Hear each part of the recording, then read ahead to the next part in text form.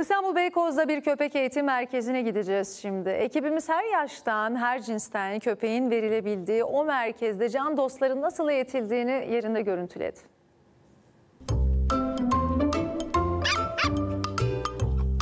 Şimdi muhtemelen canınız çekiyor. Keşke gelsem de ben de sevsem bunları diyorsunuz ama işte maalesef içeriye öyle herkes alınamıyor.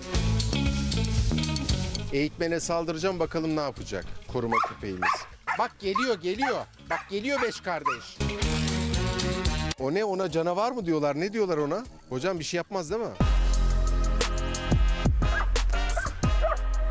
Köpekler bizim can dostlarımız ve hayatımızın aslında her köşesinde var ve tabii ki onların hayata karışabilmeleri için, sosyal yaşamada karışabilmeleri için biraz eğitim almaları gerekiyor. İşte o eğitimlerin verildiği yerlerden bir tanesindeyim. Burada yaklaşık bir aylık bir eğitimden sonra köpekler artık belli başlı temel komutları öğrenebiliyor. Eğitimi ne kadar sürüyor normalde? bir? Ortalama bir köpeğin eğitimi bir ay sürüyor. Bir ay içerisinde köpek işte bizimle birlikte otur, yat, kalk, bekle, yerine geç, gel komutlarını öğreniyor. Sitz, Platz. Köpeğimize bekle komutu verdik. Sitz, Stay mi? otur demek. Platz, yat demek. Stay, dur, bekle komutuna giriyor. Şimdi burası köpekler için bir yaşam alanı. Evet. Aynen Buraya öyle. dışarıdan sokak köpeği getiriyorlar mı ya da geliyor mu? Ee, bu durumda siz ne yapıyorsunuz? Buraya sokak köpeği gelebilir ama belli kriterlerimiz var tabii. Burada da sağlıklı canlar olduğu için dışarıda hastalık taşıyan bir canı direkt buraya alamıyoruz tabii.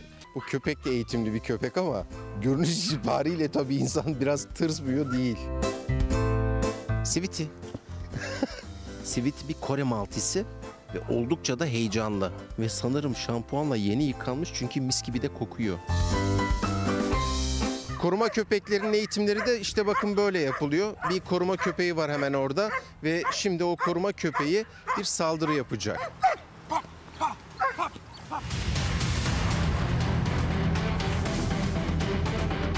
Şimdi ben denesem aynı şeyi ben bunu koluma taksam olur mu? Bunu size biraz sonra başka bir köpeğimizde kolumuza taktıracağım sizin. Hocam beni ısıracak köpek hangisi? Evet şu anda arkamızda olan bir köpeğimiz var. Bir Alman çoban. Hocam o mu ısıracak? Haberi burada kestik bitti.